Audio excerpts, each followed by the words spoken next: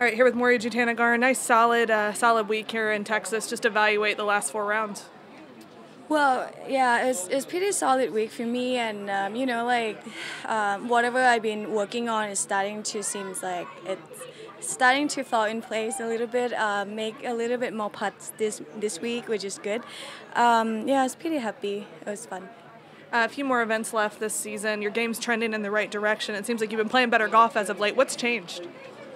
Well, it's, it's nothing changed for me. It's just like just what I say, you know, like um, just keep keep working on the same stuff and um, you know eventually it just feel a little bit better and and um, hopefully it's it's getting to feel better and better after a week like this week um, giving yourself some confidence what are your goals for the rest of the season um, you know, like for me, like I was just working on like my commitment, you know, like making decision out there and stuff like that.